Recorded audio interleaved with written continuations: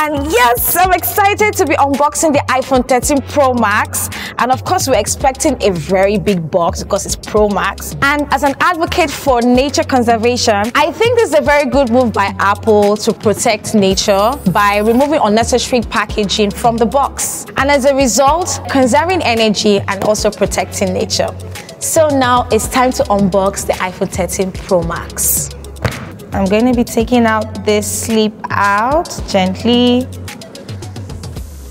Yep. So taking this off. Careful. So there wasn't any need for the adapter because now everybody has an adapter at home and we have like the usual manual and that's it.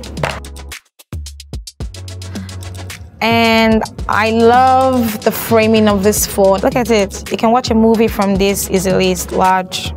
I like the feel of the phone. It has this metallic, sleek feel. Reminds me of the iPhone 5S, so it's like an improved version, a bigger one of course. It's pretty sleek, very easy to handle. I heard there are various colors that comes with the iPhone 13 Pro, but I really love the graphite. And I can't wait to experience photographing with the telephoto lens, with the ultra wide angle lens, the optical zoom, and the image stabilization of the iPhone 13 Pro Max. So let me power it on. My phone is ready to use and we're ready to go out on the street to take pictures.